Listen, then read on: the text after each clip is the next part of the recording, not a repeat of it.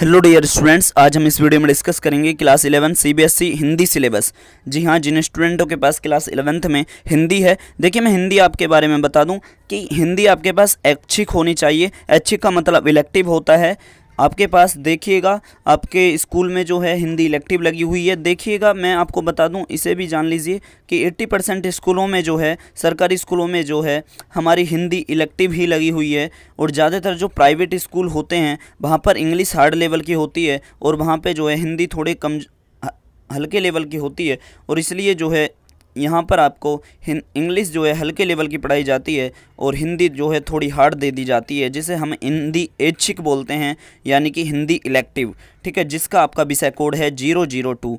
तो मैं बात करूँगा हिंदी का क्लास इलेवंथ का जो डिलीट हुआ है सिलेबस कोविड नाइन्टीन के कारण। जैसे कि आप सभी को पता ही होगा, कोविड नाइन्टीन के कारण आपका तीस परसेंट सिलेबस डिलीट हो गया है। अब आपको कितना छोड़कर पढ़ना है, ठीक है? तो मैं आपको बता दूँ कि आपको कौन कौन सी चीज़ें आपकी डिलीट करी गई हैं पूरी तरह से? देखिए, इस बात का ध्यान रखिएगा, आपकी जो है इलेवंथ क्लास में हिंदी की टोटल तो वैसे तीन बुक होती हैं। नंबर बुक का नाम है अंतरा, नंबर सेकंड बुक का नाम है अंतराल, और नंबर थर्ड बुक का नाम है अभिव्यक्ति और माध्यम, ठीक है? जो सारा जो डिलीट हुए हैं चीज़ें, जो डिलीट हुई हैं, वो केवल एक ही किताब से डिलीट हुई हैं, अंतरा किताब से, ठीक है? अंतराल से कुछ डिलीट नहीं हुआ, और अभिव्यक्ति माध्यम ज्यों का त्यों हैं।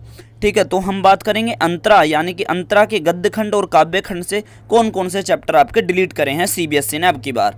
तो देखिए, आपके हमारे गद्य खंड में एक राइटर हैं, जिनका नाम है गजानन माधव मुक्तिबोध। इनका एक चैप्टर है नए की जन्म कुंडली एक। नए की जन्म कुंडली एक, ये चैप्टर डिलीट कर दिया जा चुका है, आपको इसे पढ़ने की ज़रूरत नहीं है। पांडे बच्चन शर्मा, उग्र। ठीक है, पांडे बच्चन शर्मा, उग्र, इनकी जो गद्य है, यानी कि इनकी जो स्टोरी है, वो है उसकी माँ। आपको ये नहीं पढ़ना है। आपका अगला चैप्टर है, ये भी पूरी तरह से डिलीट है, जो भरतेंदु हरिश्चंद्र ने लिखा है, जिसका नाम है भारतवर्ष की उन्नति कैसे हो सकती है? ठीक है भारतवर्ष की उन्नति कैसे हो सकती है? तो ये जो गद्य खंड है, देखिए गद्य खंड और काव्य खंड में अंतर क्या होता है, मैं थोड़ा सा बता दूँ। गद्य खंड वो होता है जिसमें जो है कहानियाँ, निबंध ये चीज़ें जहाँ पर होती हैं। काव्यखंड वह होता है जहाँ पर कविताएँ कविताएँ होती हैं। आपकी कविता का वह आपकी किताब का वह अंश काव्यखंड कहलाता है।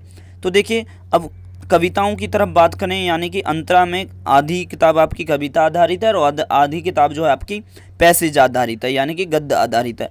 अब काव्यखंड की बात करें तो हमारे वो कवि हैं, कवि देव। देव की कविता हटी है, हँसी की चोट। सपना और दरबार। इनकी तीन कविताएँ लगी हुई थी आपके सिलेबस में जो तीनों हट चुकी हैं। हँसी की चोट, सपना, दरबार। सुमित्रा नंदन पंत के द्वारा लिखी गई एक कविता है संध्या के बाद। तो संध्या के बाद भी ये पूरी तरह से डिलीट कर दी जा चुकी है। आपकी अगली कविता है नरेंद्र शर्मा ने लिखी थी नींद उचट जाती है। ये भी पूरी तरह से डिलीट कर दी जा चुकी है। और अगला है हमारा श्रीकांत वर्मा। श्रीकांत वर्मा की कविता है हस्तक्षेप। ये भी इलेवंथ क्लास से पूरी तरह से डिलीट कर दी जा चुकी है। ठीक है तो इस बात का ध्यान रखिएगा। गद्य खंड से हमारे तीन चैप्टर डिलीट हुए हैं। और मैं बात करूँ काव्य खंड से हमारे जो हैं, चार कविताएँ डिलीट हुई हैं। देखा जाए तो कविताएँ देव की मिला देंगे तो तीन, मैं एक ही जोड़ रहा हूँ, देव की एक ही कविता मानी जाएगी। ठीक है, लेकिन ये एक चैप्टर मान लीजिए या तो एक अंश। लेकिन अगर वैसे देखोगे आप ये तीन और तीन छः छः कविताएँ हटी हैं और गद्य खंड से हमारे तीन चैप्टर हटे हैं।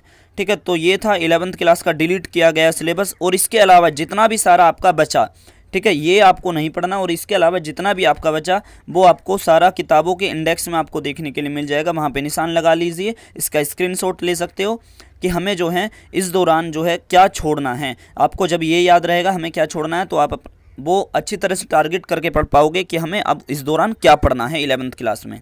ठीक है तो हमारे इस चैनल को आप सब्सक्राइब कर सकते हो ऐसी ही और नई वीडियो पाने के लिए। तब तक के लिए दीजिए इजाज़त। Thank you